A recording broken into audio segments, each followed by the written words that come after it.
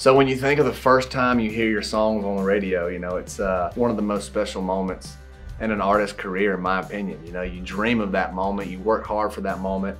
And I've been fortunate enough to get to have that moment twice. I feel like when I heard Five Foot Nine, my first solo single on the radio, it felt like hearing Cruise. It felt like our very first single um, back in 2012. And it's special. It's the moment that you just, you, you know, it all kind of, all that hard work pays off and you just feel validated, you feel supported.